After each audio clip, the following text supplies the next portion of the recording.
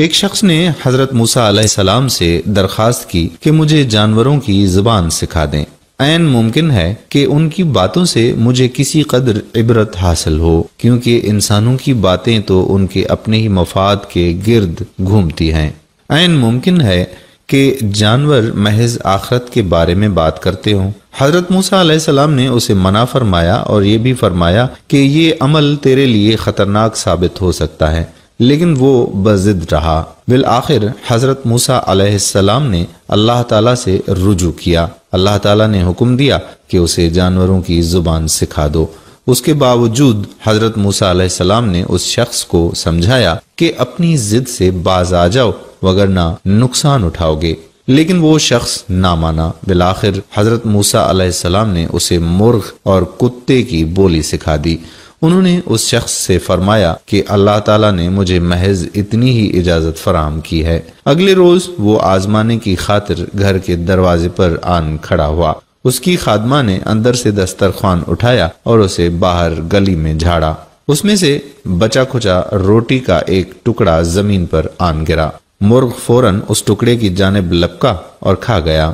کتے نے کہا کہ تم نے زیادتی کی ہے۔ تم تو مٹی میں گرے ہوئے دانے بھی تلاش کر سکتے ہو، لیکن میں ایسا نہیں کر سکتا۔ اگر تم روٹی کا یہ ٹکڑا میرے لیے چھوڑ دیتے، تو میں اسے کھا کر اپنی بھوک کسی قدر مٹا سکتا تھا۔ مرغ نے کہا کہ تم فکر نہ کرو، کل مالک کا گھوڑا مر جائے گا اور تم گوشت سے لطف اندوز ہونا۔ اس شخص نے مرغ کی بات سن کر فوراً گھوڑا بیچ دیا۔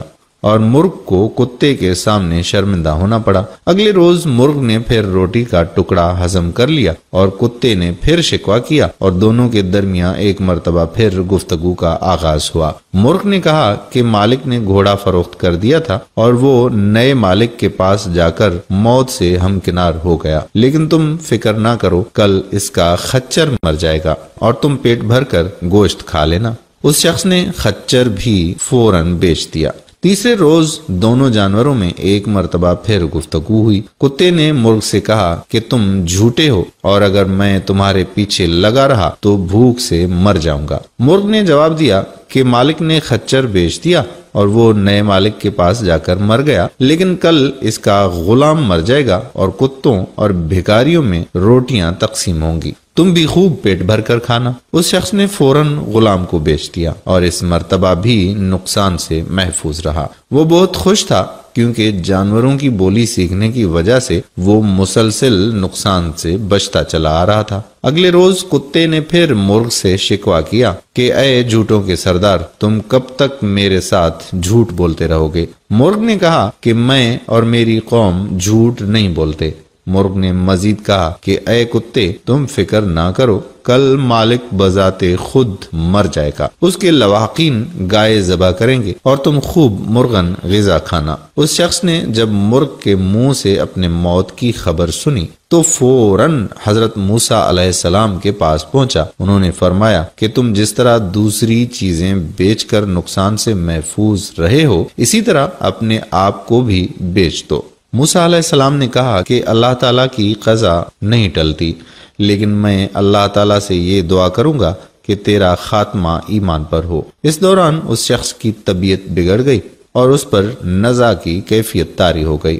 حضرت موسیٰ علیہ السلام نے اللہ تعالیٰ سے دعا کی کہ یا اللہ اس گناہ گار کی خطا معاف کر دے۔ حضرت موسیٰ علیہ السلام کی دعا پر اللہ تعالیٰ نے فرمایا کہ ہم نے اسے ایمان عطا کیا۔ اگر تم چاہو تو ہم اسے دوبارہ زندگی عطا کر دیں گے، بلکہ مردوں کو زندگی عطا کر دیں گے۔ حضرت موسیٰ علیہ السلام نے عرض کیا کہ یا اللہ، یہ دنیا تو فانی ہے۔ اگر یہ تیرے حکم سے زندہ بھی ہو گیا تو پھر مرے گا۔ اس لیے تو اسے ابدی زندگی بخش دے۔ اور دوسرے مردے بھی جو تیرے حضور حاضر ہو چکے ہیں، ان پر بھی اپنا رحم فرما۔ امید کرتا ہوں کہ ہماری آج کی یہ ویڈیو آپ کو ضرور پسند آئی ہوگی۔ اور اس کو صدقہ جاریہ کے طور پر اپنے دوستوں احباب کے ساتھ ضرور اللہ خیرہ۔ السلام علیکم ورحمۃ اللہ وبرکاتہ۔